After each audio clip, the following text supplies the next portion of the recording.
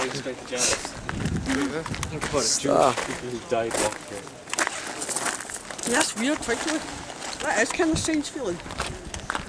Jewish people who got gassed. Not even just Jewish.